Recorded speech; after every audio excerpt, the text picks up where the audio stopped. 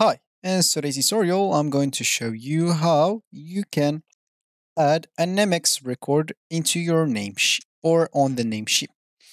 So the first thing that you'd like to do, of course, is just go and open your browser that you're going to use to follow this tutorial steps. Here I'm using Brave, but of course, in your case, you can use whatever browser is working for you or whatever browser you're using in your PC.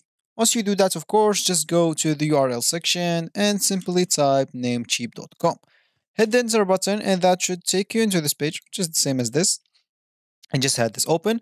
And here, of course, if you have an account, make sure to just go into signing in. Enter your username and password. And if you don't have an account, make sure to click at sign up. And of course, for you, will have another page, not this one. Because this one, if you already logged in into your account, you'll find something like that. But for you, you will be prompted to another page to fill up your information to create your account. Of course, there is no fast way as like signing up with your Google or YouTube or Facebook or something like that. You cannot do that here.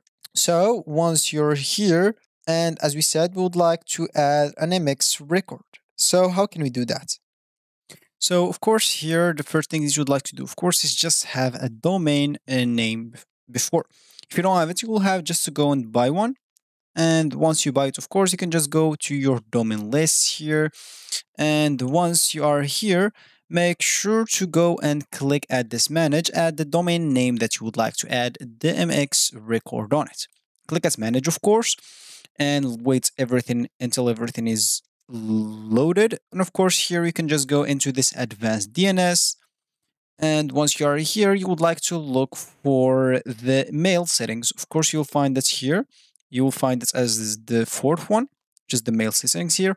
And here this mail forwarding, make sure to click on it and go and add a custom or check the custom MX.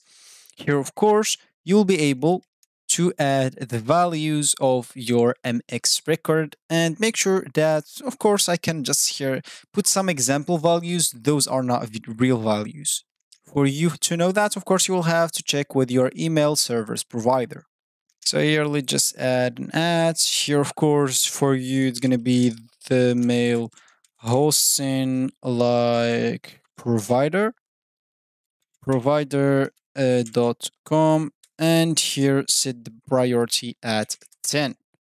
Of course, if you need to add more, you can just go always and add more MX records. Of course, when this is saved, as you can see, you'll have this option of adding a new record. So this will be actually for this tutorial. I hope you like it. Thank you guys for watching and goodbye.